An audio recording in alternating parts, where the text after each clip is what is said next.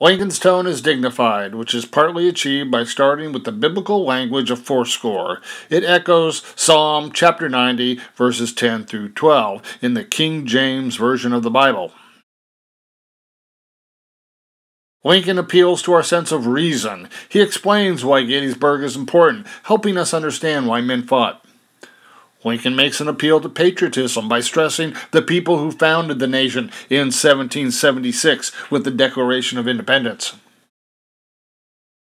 Lincoln omits any reference to slavery, since it was a divisive issue, with nobody agreeing on the best way to approach the topic. Also missing is any reference to females contributing to the nation's past history and current struggle, Brave men are mentioned, but not their mothers, sisters, and daughters. Lincoln develops a progression that everyone can follow. A nation was born, it lived more than fourscore years, it suffered a kind of death during Civil War, it is reborn in a way that will be immortal, not perish. He looks at the past, present, and future, a progression that is easily followed. The word dedicate is key. It is used five times in a short speech. The word stands out. The speech is almost a poem based on birth, death, and rebirth. Birth is alluded to here, conceived, brought forth, created, and fathers. Towards the end, Lincoln uses a string of clauses that begin with that. It's good parallelism. Sophisticated sentence structures sustain the lofty tone. The Gettysburg Address is never silly, vindictive, frivolous, or trivial. Lincoln refers to the Declaration of Independence when he says we are a nation dedicated to an equality principle. This was new. Today we are used to the words nation and equality, but Americans used to be loyal to states without interest in nationhood or equality. Nobody prior to Lincoln said that equality is at the heart of the Declaration of Independence. Equality was not central to the original Constitution. Inequality was built into that document, shaped by political compromises.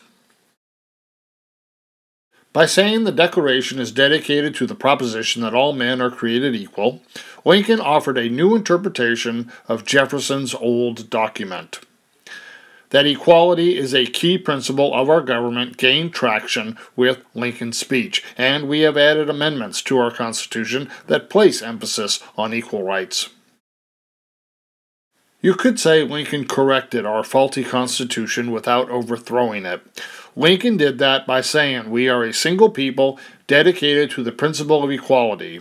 We started to add amendments to make that come true. Or you could say Lincoln changed America by elevating the Declaration of Independence to a higher place as a guiding light. In previous decades, politicians had not been looking to the Declaration for guidance. Lincoln's speech avoids proper nouns. God is in some versions that survive in manuscript form, but is absent in others. By staying abstract, the language becomes philosophical. The speech is short, but not all sentences are short. The last sentence has 82 words, a third of the speech.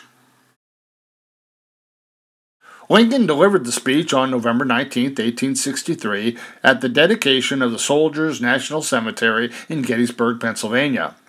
The battle had been fought four months earlier. Lee's final assault involving Pickett's charge into the center was on July 3, 1863.